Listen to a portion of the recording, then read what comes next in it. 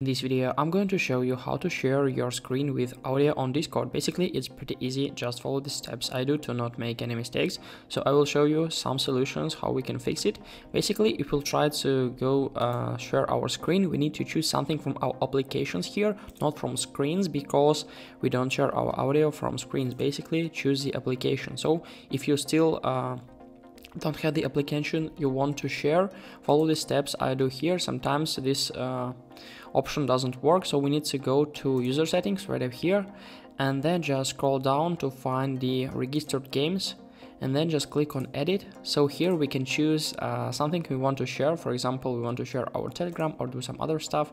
We can just click on it and then just um, go back so after that just click on share your screen and here choose the telegram. Now it's not opened but this is a way. If it still doesn't work we need to go to settings once more and then just go to voice and video right up here then just scroll down to advanced setting and make sure that all of these options are turned on. Sometimes it helps but maybe you have the another options. For example like uh, it's called like share audio while streaming or do some other stuff. So make sure that this function is turned on.